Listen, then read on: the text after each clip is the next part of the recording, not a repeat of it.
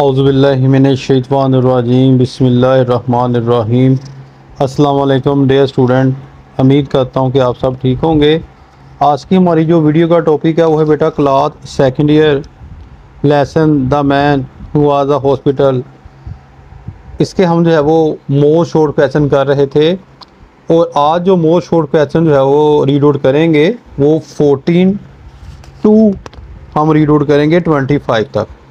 तो जिनको क्रॉस किया है, वो हम नहीं करेंगे क्योंकि वो ऑल रेडी मैंने जो है, वो पहले ही आपको रीड आउट करवा दिए हैं। तो लेट स्टार्ट शुरू करते हैं।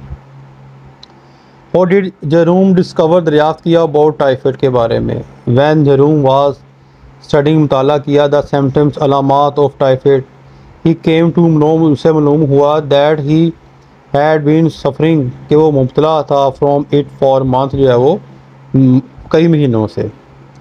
वाट वाज द फैक्ट असर हुआ ऑफ़ द राइटर लखारी एक्सपीरियंस तजर्बे का एट द ब्रिटिश म्यूज़ियम में। द राइटर एक्सपीरियंस तजर्बा एट द ब्रिटिश म्यूज़ियम में हैड अ वेरी अनहेल्थी बहुत ना हफजान सेहत वाला असर था ऑन हिम इस पर। द राइटर हैड वॉक चला इनटू द रीडिंग रूम पढ़ने वाले कमरे में एज अ हेल्थी एक सेहतमंद एंड हैप्पी मैन एक खुशकन आदमी के तौर पर। But he came out of the reading room लेकिन वो जो रीडिंग रूम से बाहर आया रींगते हुए एंड वॉकिंग चलते हुए, डगमगाते हुए ही वॉज़ इमेंसली बहुत ज़्यादा खौफ सदा था। सो ही डिसाइडेड फैसला किया टू कंसल्ट हिज डॉक्टर कि वो अब डॉक्टर से सलाह मशवरा करेगा।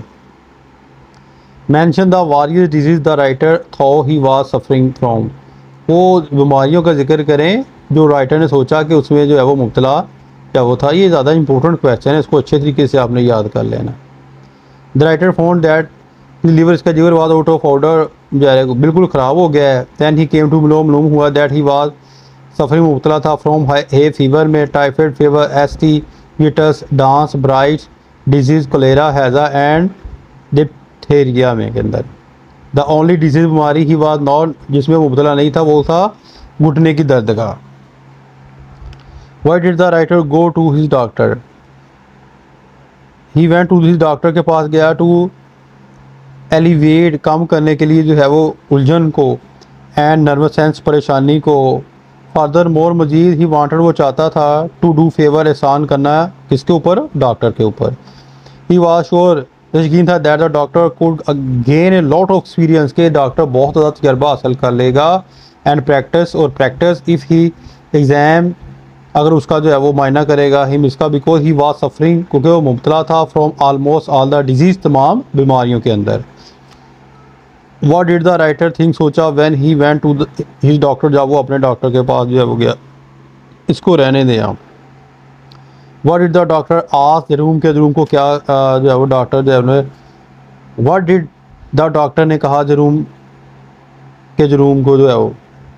वेन द राइटर वेंट गया टू द डॉक्टर के पास ही आस कहा what the matter was with him कि तुम्हारे साथ क्या जो है वो हुआ? क्या यानी कि डॉक्टर पूछे ना कि तुम्हें क्या मसला है? The writer told him that he had been suffering from all जिससे कि वो तमाम जो बीमारियों में मुतला है सवाए जो है वो उसके जो घुटने की दर्द नहीं है। और बीइंग आस पूछने पर, उसने जो है डॉक्टर को बताई, ये तमाम स्टोरी ही एक्सप्लेन उसने वजाहत की that he had discovered it by reading क्योंकि उसने जो है वो इन अलामत को जो है वो दरियाफ्त किया है of the disease discussed in the एक मेडिकल जो है वो बुक के अंदर जो है वो लिखी थी।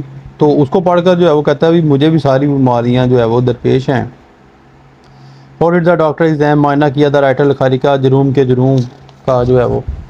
Doctor look down into the writer mouth मुँह को देखा। ही फ़ील्ड उसने जो है वो नंबर चेक की। He hit him over the chest और सीना का थोड़ी सी ज़रूर लगाई। देन ही बटर टक्कर मारी him with the side of his head इसके सर की एक जानब। After that he sat down बैठ गया एंड रोड आउट द और उसका लिखा and give it to the writer और उसे लिखारी को दे दिया। आगे ये क्वेश्चन देखें। What did the doctor do on hearing सुनकर किया द राइटर एक्सप्लेनेशन उसकी जो है वो जाहद ये पहले जो है वो क्वेश्चन जो है मैंने रीड आउट करवा दिए।